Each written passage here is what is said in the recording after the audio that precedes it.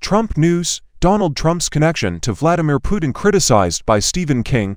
Stephen King, in his criticism of Trump, has referred to Trump as running dog for Vladimir Putin. On Monday, he made the remark, barely hours after Trump addressed Friday's announcement of the death of Alexei Navalny, the imprisoned opposition leader and the Russian president's harshest critic, to GOP contender for the 2020 for presidential nomination, Trump was mute over the weekend while leaders worldwide mourned Navalny. Nikki Haley, a Republican running for president, was among his detractors who criticized him for being silent.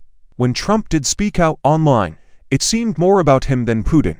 He said that Navalny's death has made me more and more aware of crooked, radical left politicians, prosecutors, and judges leading us down a path to destruction in the U.S. Rather than blasting Putin. Soon after, King posted to X formerly Twitter and said, Trump is Putin's running dog. The tweet has since gone viral, with over 1.8 million views. On Tuesday, Newsweek sent an email seeking reaction from representatives of both King and Trump. In response to the horror writer's message, X users had mixed feelings. The only exception is that Putin supported Biden.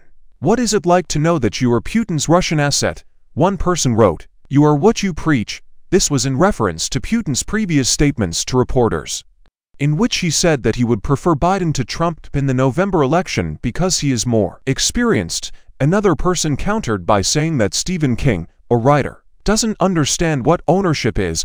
I can't believe you're so worried that Trump will win. A third person said, It's so cute to see you weep.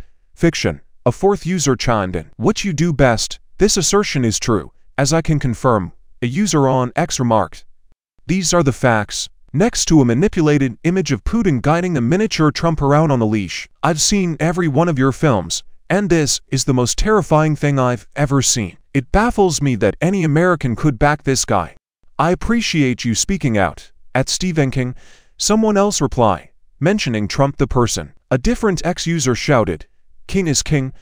Also, another individual said, Trump is a shame.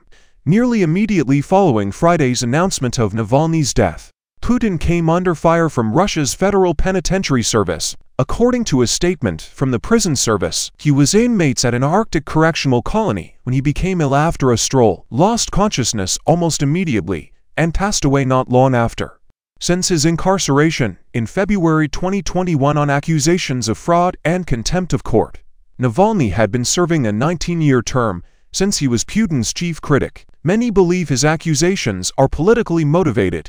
In a Monday post on Truth Social, Trump expressed his growing awareness of the situation in our country due to the tragic death of Alexei Navalny. Slowly but surely, we are being led to our doom by crooked, radical left politicians, prosecutors, and judges, open borders, flawed elections, and incredibly unfair court decisions are wreaking havoc on America. We have fallen as a nation, and we will never recover. MegaCon 2024 When it comes to Trump and his alleged ties to Russia, King is no stranger.